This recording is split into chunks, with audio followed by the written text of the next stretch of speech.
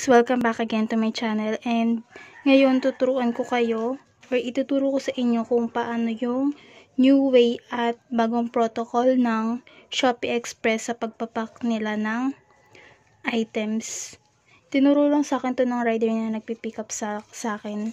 So, meron tayong Shopee Express pouch, yung items na ibabalot and then yung waybill.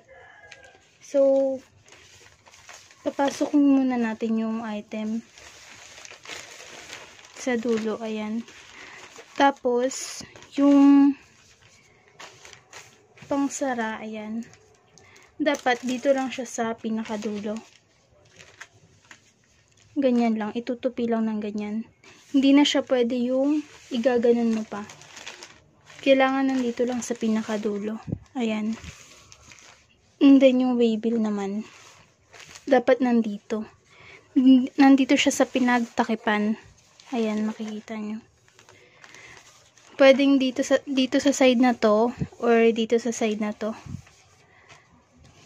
Ganyan. Kahit gano'n pa raw kaliit yung item mo, dapat nandito pa rin yung yung pang seal. So, ito naman.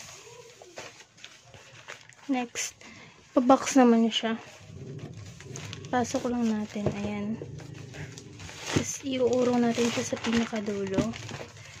And then ayan yung pang seal. Dito lang natin ilalagay sa pinakadulo din. Ganito na daw yung bagong protocol nila.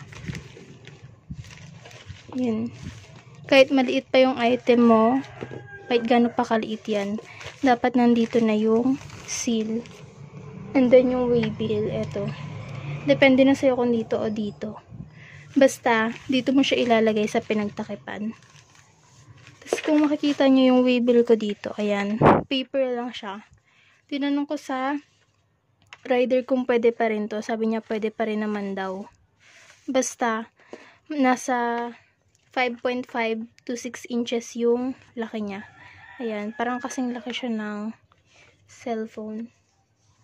Tapos kung makikita nyo rin, paper waybill lang siya. May tutorial ako sa channel ko kung paano magawa tong paper waybill. Mas tipid siya and ayan, kaso need mo siyang lagyan ng ano, tape. Iti-tape mo yung buong yan para hindi siya mabasa or masira. Lalagay ko rin sa description box kung yung link kung paano nyo magagawa to. So, ayan. New protocol ng Shopee Express sa pagpack. Thank you for watching.